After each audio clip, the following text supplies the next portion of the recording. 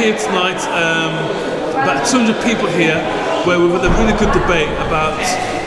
vulnerable generation, hostile environment, and more importantly, what can local people do, what the activists can do in terms of influencing the council, influencing uh, politicians, and more importantly, what they can do to be proactive collectively to say to the government that we are fighting you because the hostile environment hurts people, destroys lives, and it's inhumane.